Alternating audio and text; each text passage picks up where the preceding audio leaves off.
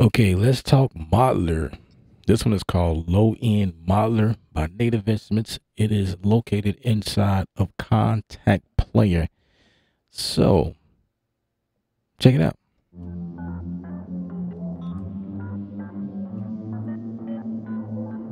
It's really cool. For those textures, extra ambience in your music, certainly. So there's four different sections here. And if we go from left to right at the top right section of this plugin, we have the main. We are looking at the main view. Oh, by the way, this is the animation here, the graphic.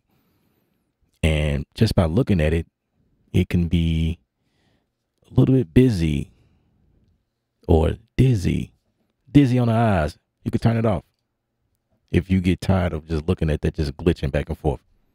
All right. So we have main, mixer, the edit section,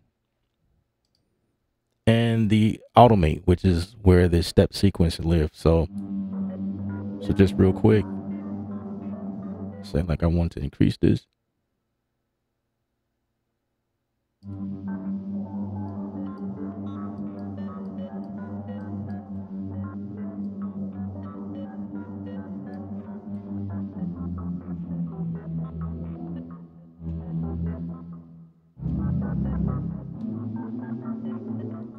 So we're looking at C0 to C3. This is the range. This is as far as you can go with this, or maybe this preset. So we come here to edit. So that's the robot. So we could turn it off if we want to.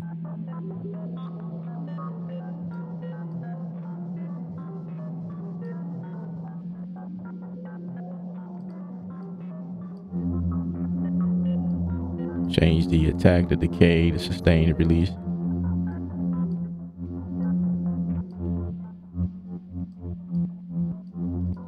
You know what I mean? That's channel three. This is channel two.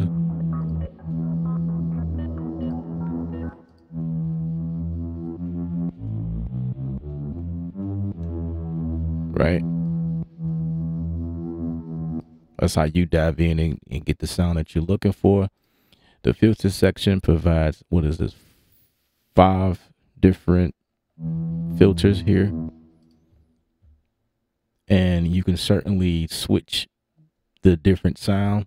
If you want, you can randomize it or you can just click in here and pick what you want.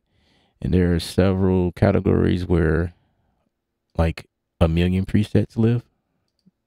That's crazy. And then you can obviously just a workflow like this is always dope. Instead of coming out of it and then go to the channel two and then back into here. Yeah, this is this is kind of cool how you can just toggle and just pick whatever. It's a, it's quicker to do that. All right. So if we're looking at the presets, we have some bass drones, just a million of those, some basses, leads, pads, sound effects, and scenes. I am interested in what the leads sound like. So let's go with this one.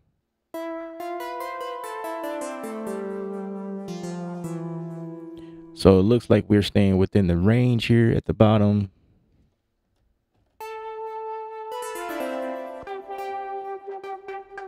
You can use your mod wheel to change the output. The you know the way this this is kind of cool.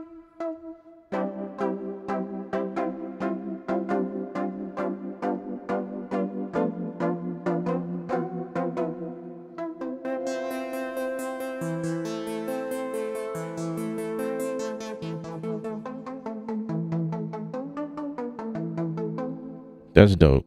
That's dope. And then uh, here at the bottom, of course, you have these immediate effects animate, filter, space, echo, drift, time. I want to say that these may change according to the preset. And then off to the side, the right side, we have low mid.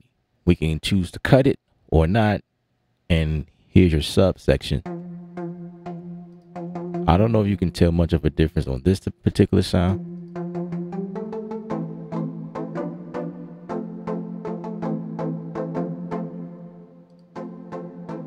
You can hear a little bit here.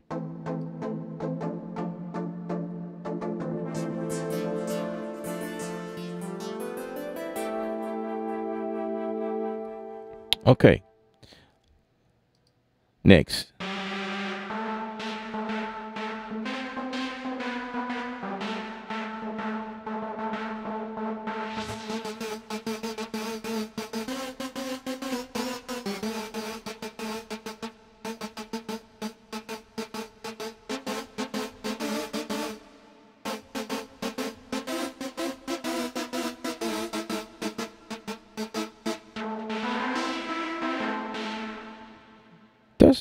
I like it. I like it. I like it. I like it. This low end deal is kind of cool. I just didn't expect it to sound as good. So this is my first take, by the way.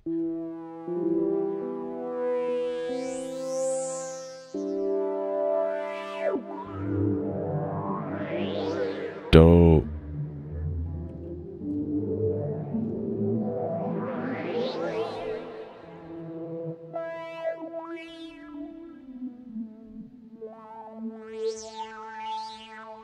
So actually, I'm noticing the bottom area is not changing. So maybe that's just what it is down there. Moving along.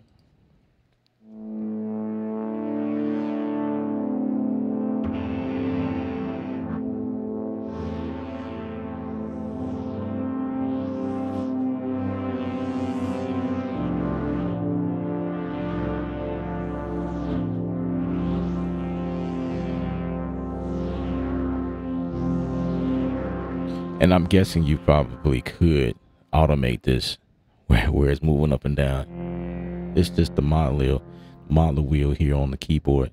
So I'm pretty sure you could do that. Uh, if I click here, I'm noticing that I can save. So I, I guess I can save presets. Like if I have done something unique, I can save it. And this right here, I have not quite figured this out, but I noticed that once I click these, there's a vertical line that appears next to each effect. I'm not really sure what they do yet. Modeler wheel settings. Hmm.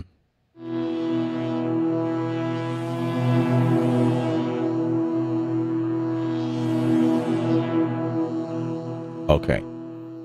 That's interesting. So maybe I'm thinking like I can turn it off.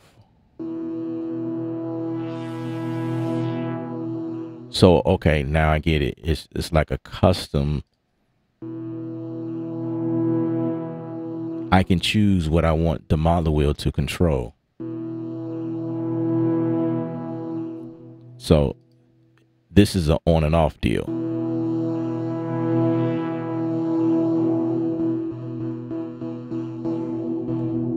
Okay, on and off. That's what it is. I figured it out. Cool. Turn it back to ABC morphing, and then that's when I think we will see.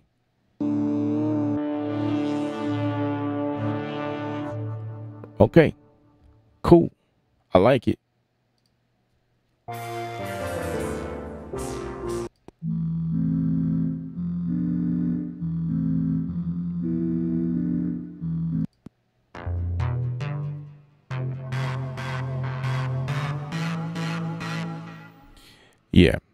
This is dope. I could see myself using this. This is dope. Between the morphing, I, I feel like on each sound, you have to morph. You just have to because it's like it renders. If you're just going through these, you're gonna miss it. You you're certainly gonna miss it if you do not morph. You, when you go through, make sure you. It's like it opens up and it closes and it's like a different oh my gosh different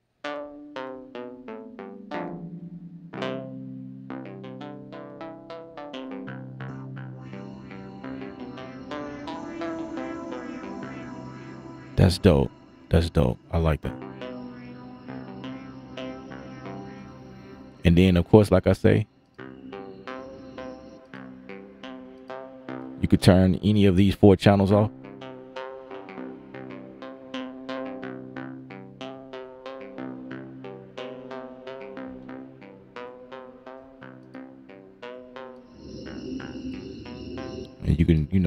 Give whatever you whatever amount that you want.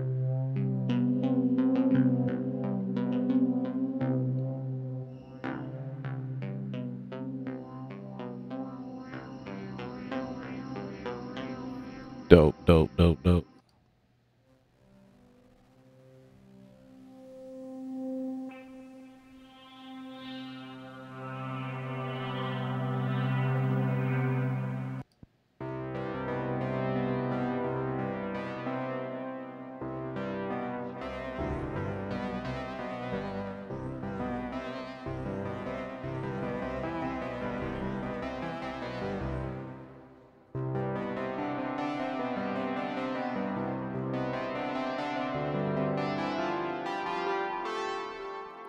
Now I can kind of get why they call it low end because of where you will access in terms of range from C0 to C3. So there's only three ranges worth of playability. You know, it's only and on the low end. So on a 25 key keyboard, I guess you good. You don't have to morph or change the the octave on your keyboard because this it's only in this range as I can tell. Okay. So so those are pretty good. Let's see what do we have for like bass. Actually, you may have to go octave lower.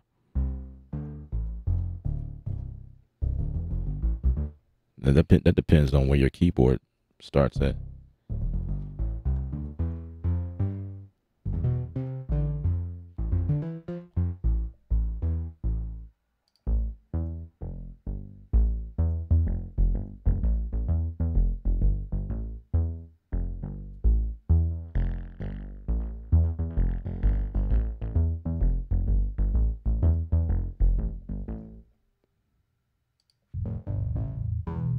Ooh.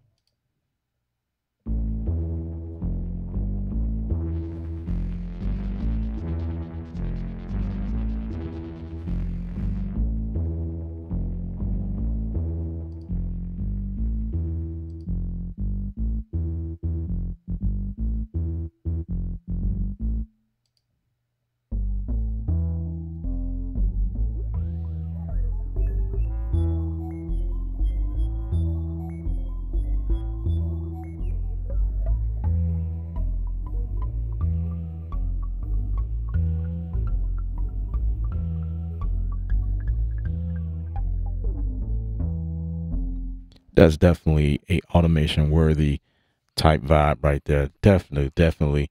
I'm not going to go through all of these presets. I just want to go through a few of them just to show you guys what was happening. I am really impressed with this plug. I think it's cool. We'll definitely will be visiting this plug on a live stream or I will probably make another video and showing you guys what I came up with with this particular plugin. But again, I just want to show you that tidbit. My name is Ella B Culture, lifestyle governed by art.